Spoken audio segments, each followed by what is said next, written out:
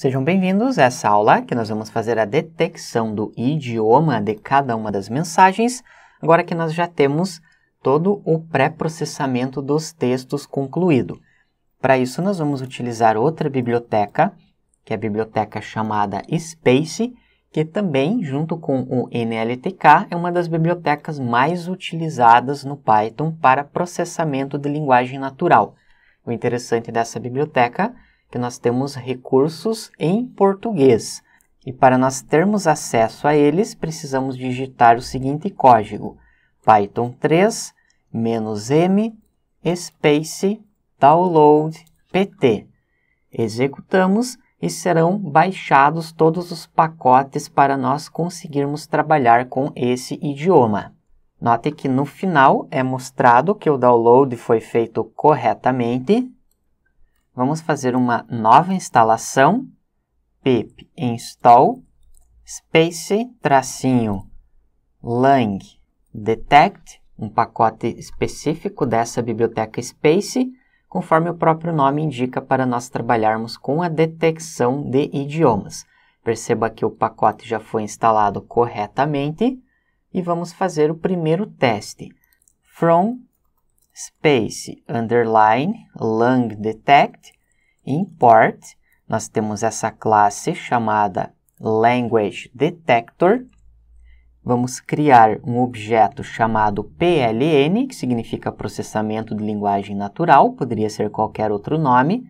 Space.load, colocamos o PT, que indica que vamos trabalhar com esse idioma. Podemos observar esse objeto executamos e caso seja mostrado essa mensagem langpt português, indica que nós já estamos trabalhando corretamente com os pacotes na língua portuguesa. Vamos agora fazer alguns testes com a detecção do idioma PLN e temos essa função chamada addpipe. Criamos o objeto language detector, definimos um name, um nome para ele, pode ser qualquer nome, eu vou chamar de language detector, e temos esse parâmetro last igual a true. Quando nós usamos o pipe, significa que nós estamos criando um pipeline de processos. Com essa biblioteca Space, você pode criar uma função que recebe um texto, já faz o pré-processamento, faz a detecção do idioma e também vai fazer a análise e classificação de sentimentos. Por isso que nós usamos essa função addpipe. No nosso caso, a última e única etapa é a detecção do idioma, por isso nós colocamos o last igual a true. Nós não vamos estar trabalhando com essa questão de pipeline, conforme eu citei, Porém, nós precisamos usar essa sintaxe para nós fazermos o teste. Vamos criar uma variável texto. Este é um texto em português. Quando nós trabalhamos com a biblioteca Space, nós temos que submeter o texto para essa variável PNL, para ele colocar nesse formato para ser trabalhado com o Space. E agora é bastante simples, nós podemos fazer um print doc ponto, temos um tracinho ponto e temos um atributo chamado language. Executamos, perceba que ele mostrou o language igual a pt e o score, a probabilidade de ser um texto em português é de 99%. Nós podemos fazer o mesmo usando outra língua. Por exemplo, this is an English text doc recebe PLN texto e vamos fazer novamente o print doc e colocamos o atributo language. Perceba que ele retornou idioma inglês também com 99% de certeza. E para nós acessarmos somente esse atributo, que é o que nos interessa, nós podemos digitar doc language e passamos o nome da chave language de acordo com o que nós temos nesse dicionário. Perceba que ele retorna só o EN. Agora, o que nós podemos fazer é a aplicação dessa função em toda a nossa base de dados.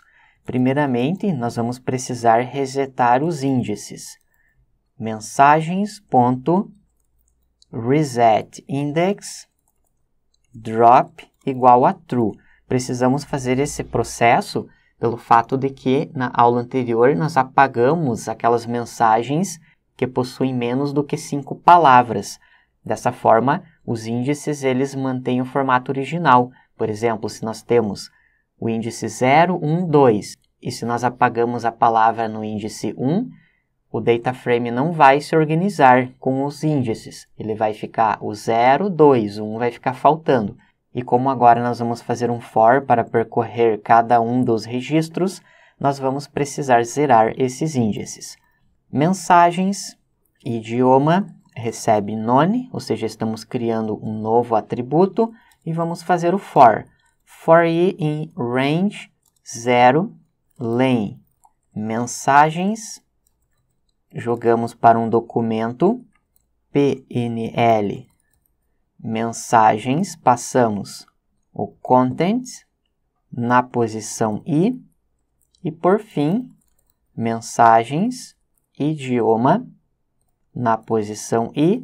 Vai receber doc. Ponto tracinho ponto language. E acessamos language, exatamente como nós fizemos anteriormente. Executamos, ele vai gerar esses warnings, porém não há problema. Terminado o processamento, vamos observar se ele fez corretamente. Visualizamos o nosso data frame e perceba que nós temos essas primeiras mensagens em inglês. Essa ele acabou colocando errado como uma mensagem em espanhol e o restante das mensagens em português. Vamos agora visualizar um gráfico dessas mensagens. Criamos a variável gráfico e vamos gerar um histograma no eixo X. Nós passamos as mensagens, idioma, que é o novo atributo, gráfico.show, executamos.